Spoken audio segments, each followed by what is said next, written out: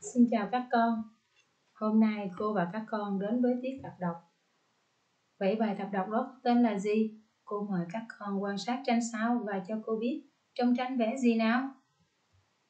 À đúng rồi, trong tranh vẽ bác ở đang chạy đuổi theo gà rừng, phía sau là chú chồn vội chạy ra từ hang đá. Vậy chuyện gì xảy ra giữa bác thợ săn, chồn và gà rừng? Bây giờ chúng ta cùng nhau luyện đọc và tìm hiểu bài một trí khôn hơn trăm trí khôn Cô mời các con mở sách tiếng Việt tập 2, trang 31 và lắng nghe cô đọc. Một trí khôn hơn trăm trí khôn, gà rừng và chồn là đôi bạn thân, nhưng chồn vẫn ngầm coi thường bạn. Một hôm, chồn hỏi gà rừng, cậu có bao nhiêu trí khôn? Mình chỉ có một thôi. Ít thế sao? Mình thì có hàng trăm. Một buổi sáng, đôi bạn dạo chơi trên cánh đồng, chợt thấy một người thợ săn. Chúng cuốn quýt nấp vào một cái hang. Nhưng người thợ săn đã thấy dấu chân của chúng. Ông reo lên, có mà trốn đang chơi Nói rồi, ông lấy gậy thọc vào hang. Gà rừng thấy nguy quá, bảo chồn, cậu có trăm trí khôn, nghĩ cái gì đi. Chồn buồn bã.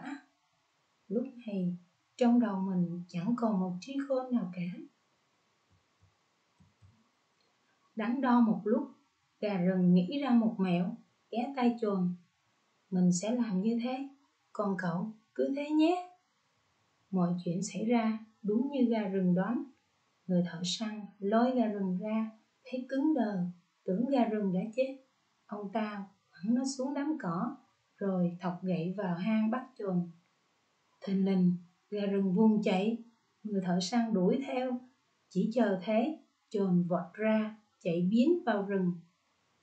Hôm sau, đôi bạn gặp lại nhau, chồn bảo gà rừng, một trí khôn của cậu còn hơn cả trăm trí khôn của mình.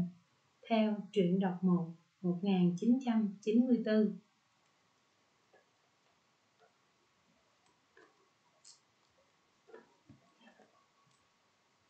Như vậy, để đọc tốt bài này, các con lưu ý khi đọc phải thể hiện lời rõ lời người dẫn chuyện và lời nhân vật.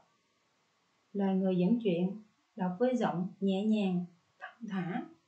Lời chồn trước khi gặp bác thợ săn giọng kiêu ngạo. Sau khi gặp bác thợ săn thì giọng buồn bã.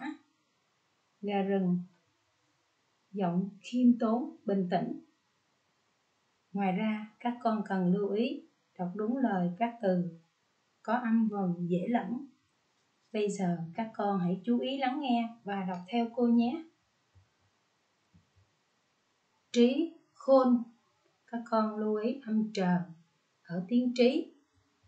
Trí, khôn. Cuốn, quýt. Các con lưu ý ở vần quýt trong tiếng quýt. Cuốn, quýt trốn đằng trời. Các con lưu ý ở âm trờ trốn đằng trời. Buồn, bã.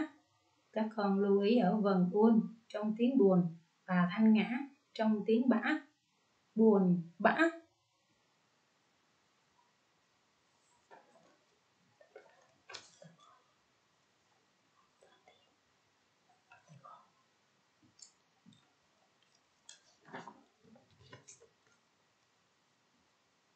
Bây giờ, các con cùng cô tìm hiểu các từ khó trong bài nhé.